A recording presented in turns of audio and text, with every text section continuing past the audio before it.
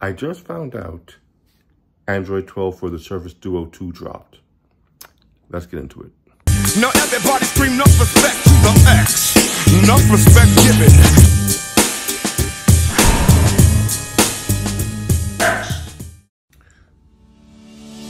Well, let's take a quick look at the Surface Duo 2 and its newly downloaded Android 12L. This came as a surprise to me, and I, I just want to go through some of the new features on the device, which make the device even better than it was before. And it was pretty good before. So I'm doing this with one hand, so please forgive me.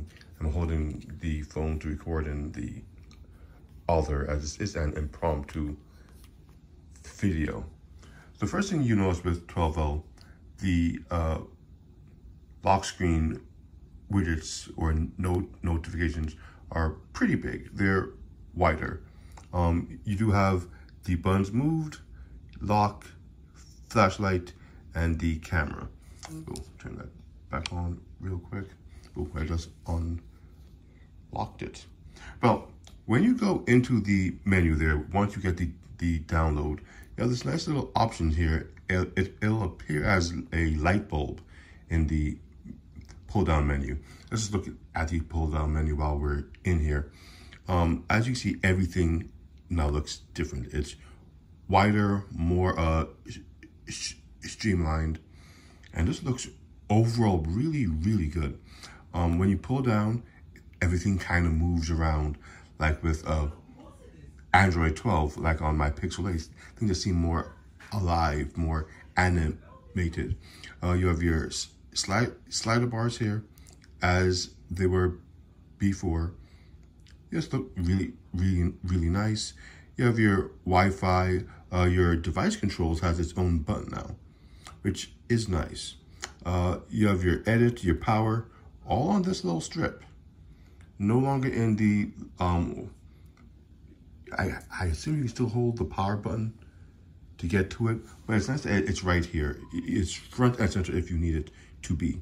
The auto rotate used to be in a pull down menu on this side and you actually have to pull it down and it was a little box. Now it's clear, you can see it. I liked what they've done there. Now when you go over, you have battery power, link to Windows, everything is just in a its own little box and all of the icons are different. The screen record was definitely not that. Um, you have your night mode, your nearby share, and a screencast. So all, you know, like I said, the entire pull down menu just looks different. Everything is bigger, more in in your face, so to speak. So it's easier to see. No longer are you trying to uh, find where uh, the button that you want is. Now, in here, when I scroll back up, uh, here is my quick, my quick menu. That looks great. Uh, my Spotify that's playing. Yeah, your manage and your clear all. Now, what I was saying that there was a light bulb in there, which took you here to, to the see what's new. One thing that you can see, even before you, I go into that, let's go into the settings real quick. I know I was just here, but in the settings, you will notice that every icon is now a full color image. So again, things stand out more. They catch your eye more easily. It's, I mean, before it was a drawn image, you had your, the my, Microsoft symbol. I, I don't even remember it being there, to be honest. Not that it wasn't, maybe it was simply, being that it wasn't these full color Im images, it didn't uh, stand out to me when I need to go into whatever menu I had to. I just instinctively knew where it was because I use the device so much. Um, let's go to About Phone, Surface Duo. Uh, build number, it there we go. Android 12.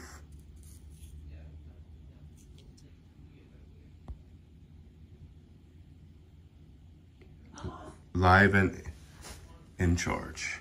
Now, aside from all of that, let's just go back into here and go into the what's new.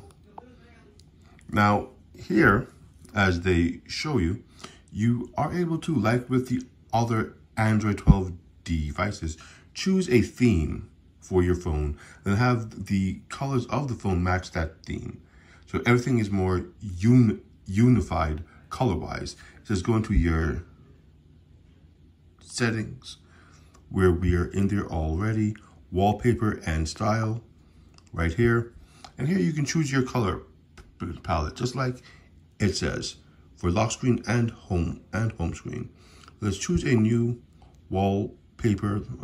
Uh, let's choose this one. Why not? In interesting. Press next. Uh, let's go to uh, home screen only. Press apply. Looks great. Now let's go to choose color palette. Now you, you can see that when I press this,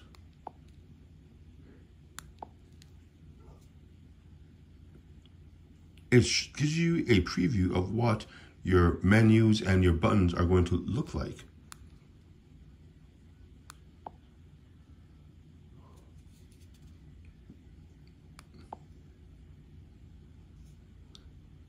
Now, if you try these accent colors, let's try blue.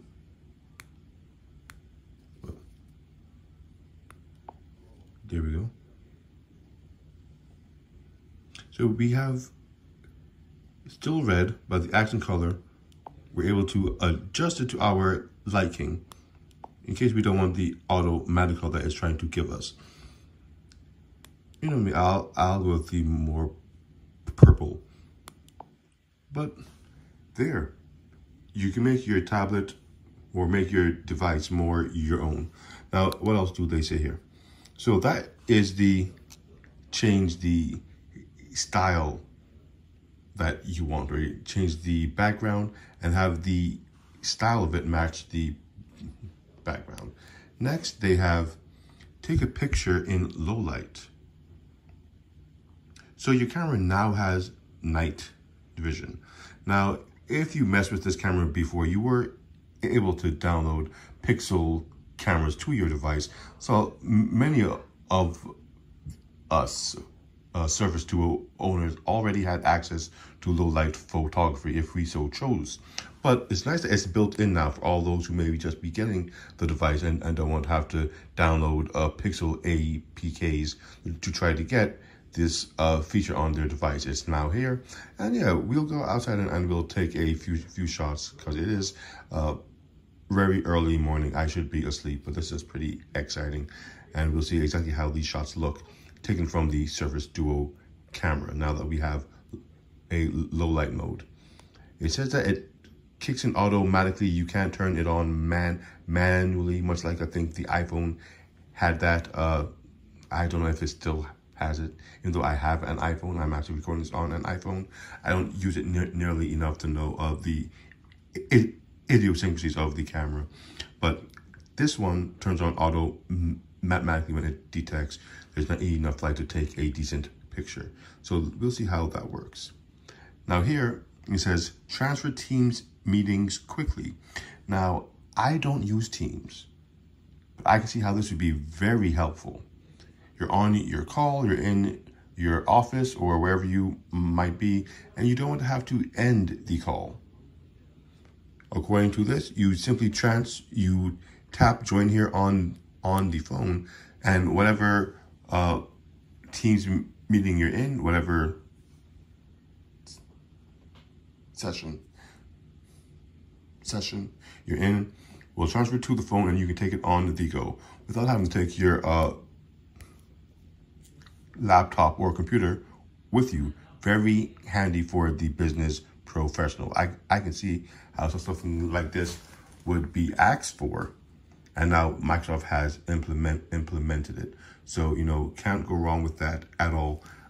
Again, not a feature I can show you because I don't have, I don't use Teams for any anything. I don't even know if I can call from Teams without uh, being in that line of, of work. I think the last time I tried, it tried to direct me to use Skype, but uh, maybe. Now here is something that I like. We now have a pen menu. According to it, press the pen and you get a whole menu that pops up. That is so helpful. Because before it was press your pen and you were, you were able to select one app. For me, it was OneNote. I pressed the pen, I got the OneNote. I pressed it twice. I took a uh, screenshot. I think that still might be the case. Let's go twice. Yeah, twice still does the uh, screenshot if you so choose. But now when you when you press it once, or let me get rid of it so you guys can see it. When you press it once, get a nice little pen menu with OneNote, Create Page, Screenshot, and Outlook. But the kicker is, you, you can go into this page and actually change what you want in the menu. So you don't have to have this set of options. You can actually add anything else. So let me go into screenshot. Does it mean that I have the double click for a screenshot? I definitely don't need that. And let's just switch it to, just for the fun of it, uh, calculator. Because I do use my cal calculator quite a bit. Now we have it there. If I'm right, we just press back. And when I press the button, there goes cal calculator. So when you're maybe you're, you're out to lunch or out to dinner, you, you need to divide the bill. That's the first thing I, I can think of. Quick click on the pen, boom. You you you can pull up your cal calculator and do whatever uh, calculations you need to do. It might even be you're writing something on on your other screen and you need to do whatever numbers are required. So right there, pull up that, do it, and you're good to go. Very easy, very handy. Now, on this side, oh, I just uh, showed you you guys that the ability to move things around. Uh, actually, I didn't actually move anything uh, around. I just showed you how you can pull it up. But let's just do the mo movement. They say it's easy enough. Uh, let's put the cal calculator right here. And so you are able to, to choose uh,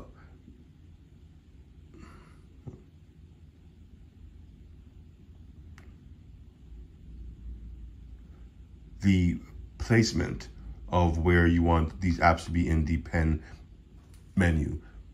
To each their own, however you place it is, is up to you. But again, the option is there. Pers per personally, uh, I think the things on the end, at least on this end, it would probably be what you go to the most. It's just really easy to grab, to touch on the screen. Your hand is on the side. And anyway, but the option is there for you to do it. Now, the next thing that they have here is something that we all know. Press the button and you get your various notifications. When the Duo first launched, that wasn't an option. You could only get notifications from the mes messaging app and I think Outlook. Those things directly from Microsoft. Now, you are able to uh, get multiple applications, I think any com communication app on your device. You close it up. I don't think I actually have any messages because uh, you press the power button. Wait, pen kind of in the way. You see the time, but I don't have any messages right now. But uh, that's where they would uh, appear. And the time is getting kind of longer. And I think it's a bit clearer too. I think they adjusted the font and the lighting on things like that. I, I think they did. I don't even have my other device to send a message to myself so we can just see how it pops up and how it looks. But um Ooh, you saw that? So just like with, didn't even mean to do that. Uh, I do like the way they did that though. They took some of the animations from 12L. When we just entered the phone, we saw the wave uh, come, or the drop, or the ripple come from the middle of the device and spread it itself out. Uh, 12 and Android 13 on my Pixel 8 has a lot of that, and I love those little additions to when you plug in things, when things move, just again brings the phone to life, makes it feel like a much more organic experience. And and so far, this does something very similar. Um, but I think that's it. There weren't any other tips that they wanted to show. Uh, if, if you have a Surface Duo, just know that this is now available to you. Uh, dark theme. Can I change it to light theme? Oh, yes, I can. Ooh, light theme. That is a nice purple. Maybe I should stay with that. Huh. Maybe for a little bit. Yeah, so this is just a quick view of what is new or what Microsoft wants to show you is new. I know there's a lot more there to unpack with this new update, but now you have a quick look at what the devices can do. Let's close that down. Love the an animation of that. Lovely new background. Looks one wonderful. Um, yeah. So with that said, my name is NG, the Neon X, and just quickly exploring some of the new additions to Android 12L on the Surface Duo and Surface Duo 2. This is what I'm into.